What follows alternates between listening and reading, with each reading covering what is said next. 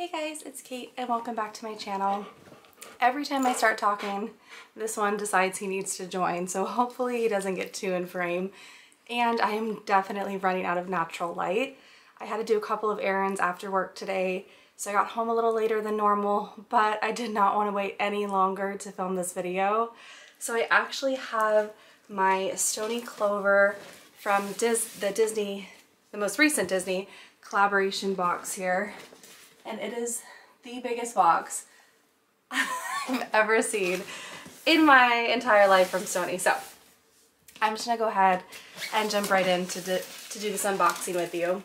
Um, the box was a little bit damaged in transit, so I'm hoping that everything came okay.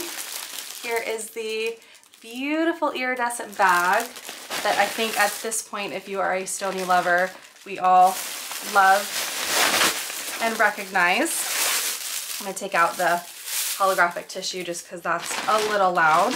Um, but everything is put in here, which is great. Um, also in the box, before I dive into the bag, we do have the Mickey and Friends pamphlet.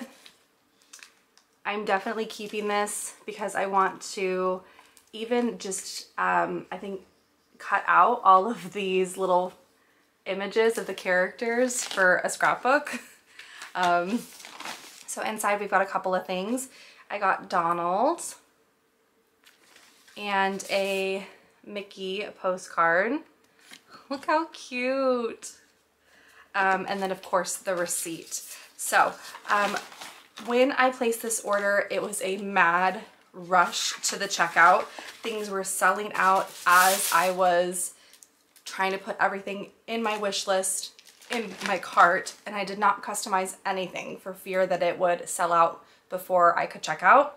I do regret that. There is something I really want to customize and I'll talk about that when I get to it. So I think I might just order the patches. The, the closest location to me is the Palm Beach location. So I would have to order the patches and then just keep them until I ever go to Palm Beach.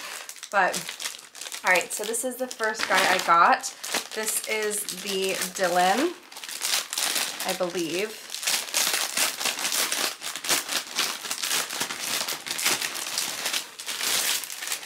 And I chose to get the Mickey Confetti print in this one. It is precious.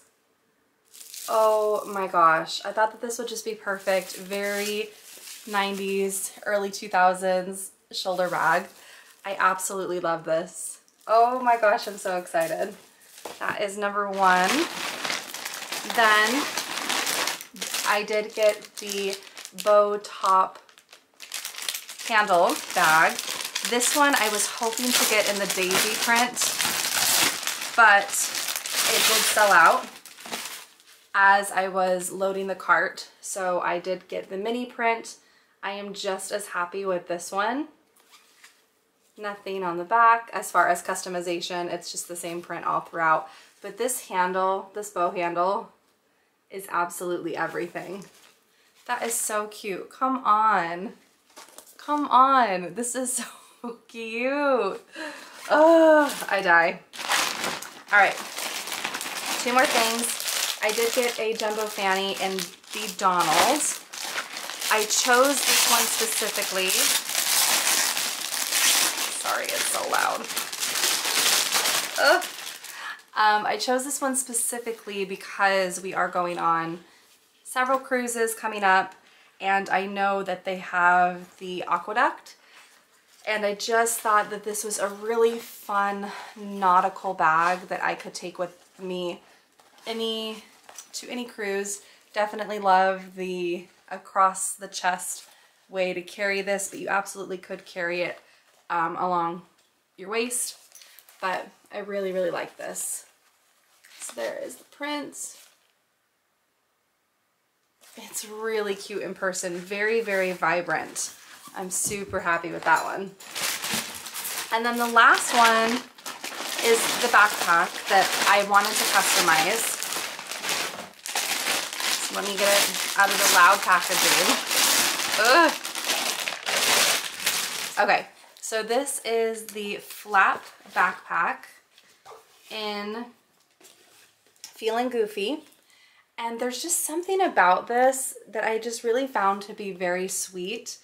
I loved the more muted creamsicle orange with the fun, different images of Goofy acting silly. I love the water bottle holder on the side. I have another flat backpack from Stoney Clover. Um, their Christmas, their um, velvet Mickey head print Christmas one they did and it does not have a water bottle holder. So I think that this is a really nice addition to the park bags. What I wanted to have done was have my name in the Disney patches put across either Kate or Caitlin. Caitlin did fit when I customized it online. So um, that is definitely something I think I'm going to do. I think I want to order the patches and just hold on to them until I can get this down to a Stoney store. Um, but let me open this up for you so you can see the lining as well. Lining is just a really pretty creamsicle. All right, and then finally, the last thing in this bag that I like tossed to the side here, when you spent a certain amount of money, I feel like it was maybe $75, you did receive a patch. So I'm gonna take this out of the packaging so you can see it better. There we go. So here is the patch which is super cute. And I feel like I would want to purchase a solid color, anything, pouch, fanny, and put this on that. Um, just because everything in this collection is very printed. I mean, that is really sweet. But I just feel like that might be a little bit too much.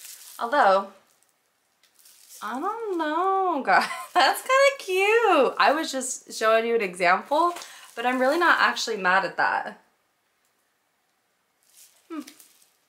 I actually think that's kind of cute. Well, um, so that is my, how long have I been recording? I can't even see, oh, right there, 724. That is my um, Stoney Clover unboxing. I have been itching to get my hands on these. I hope that if you shopped this drop, you got everything that was on your wish list.